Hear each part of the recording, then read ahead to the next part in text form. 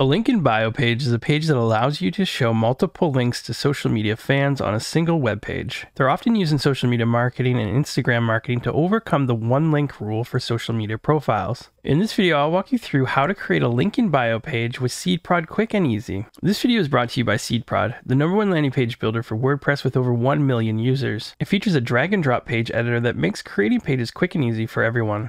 Please subscribe to the channel for more videos and to learn how SeedProd can help create amazing landing pages for you. So the first thing that you want to do is come over to your WordPress dashboard and we're going to be installing SeedProd. And I'm going to be using the pro version in this video. So if you don't have an account, come on over to seedprod.com or click the link in the description and click on the button here to grab your copy of it. Once you have an account, let's go ahead and click on login. And on the left hand side, enter your email address and password and click login. Next, let's go ahead and click on the Downloads tab. And we want to download the plugin here, so let's go ahead and click on this button. And on the bottom hand side, let's click on the icon here to grab the license key. We'll need that to activate SeedProd. We can close this tab for now. Next, let's come over to plugins and add new and upload plugin. We can drag this zip file right here onto the choose file button, or you can click choose file to select the file manually on your hard drive. Let's go ahead and click install now and activate the plugin. Next, I'm going to be pasting my license key right here and clicking verify key. And you should see a green success message if everything went well. And if you have this tab on the bottom of your browser like I do, you can go ahead and close that. We don't need that.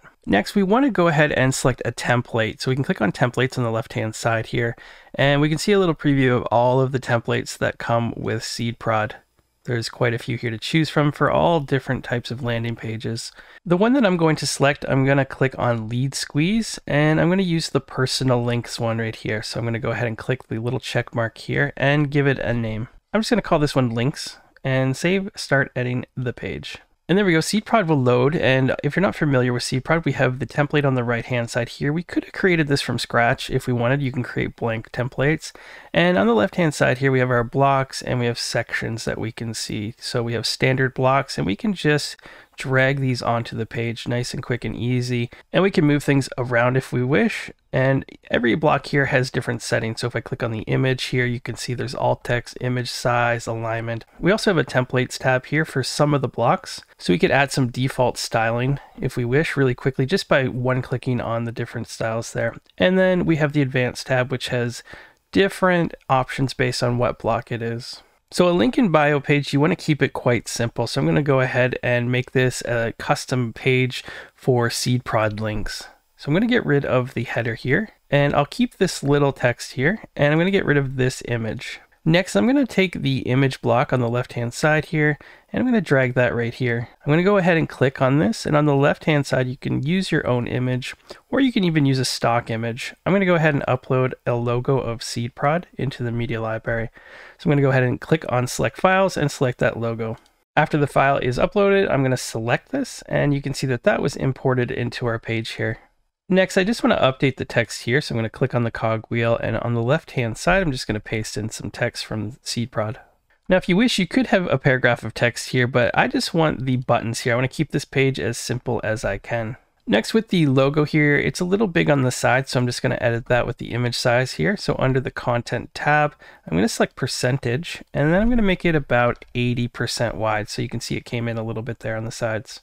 And I also want to change the background color here. So I'm going to go to my global settings on the bottom left corner and I'm going to select background and we have background style. I'm going to switch this to gradient and I'm just going to update the color so it kind of resembles SeedProd colors a little bit better. So the first color that I'm going to select is going to be kind of in the orange family here. And the second color I want will be in the kind of purple colors. So we'll go with something like this.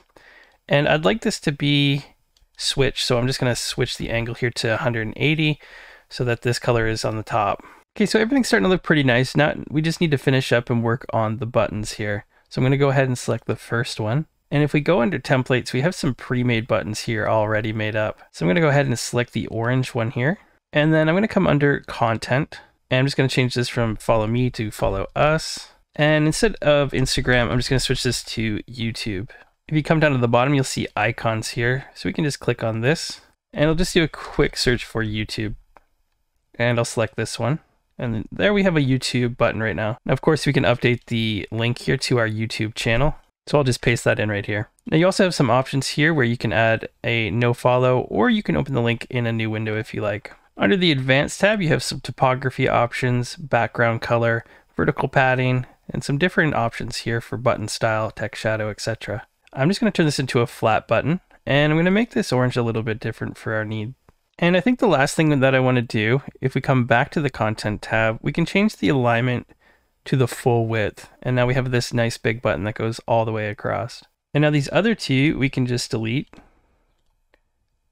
And we can actually duplicate these blocks if we wish. And then we can update the text and the icons on each one of these. So I'm just going to go ahead and quickly do that.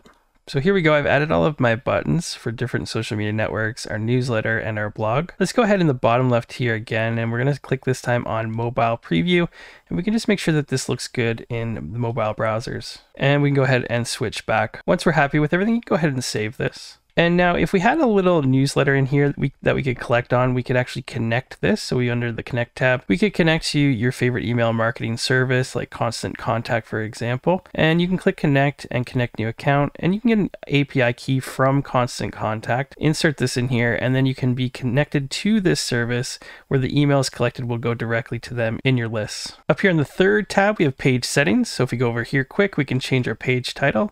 We have the page URL we can change, the page status, to draft or publish, I always publish my page right here with this little drop down button and you can click on publish. You can show it powered by SeedProd link if you wish and join our affiliate program and you get a 20% commission on all sales generated from this link. You can also switch to isolation mode if you wish. This will help with some conflicts if there are any. And as well, you can add your Facebook app ID down here. Under the SEO tab, we recommend that you install all-in-one SEO, which is a fantastic plugin. And the same thing for analytics, we highly recommend MonsterInsights. Under the scripts tab, you can add scripts to your header, body, or footer. And you can also hook up a custom domain. There's a link here if you want to learn how to do that. Again, once you're happy with everything, let's click save and publish the page. Let's go ahead and see the live page. And there we go. There's our completed link in bio page that you could now share with anyone on social media. And you don't have to use a third party service. You can just do this on your own website and keep all the traffic to yourself. Now that you have a link in bio page, maybe you would like to start capturing leads. Check out this video on how to create a lead capture page in WordPress, which will walk you through the process easily step by step by using SeedProd. Thanks for watching, and I'll see you in the next video.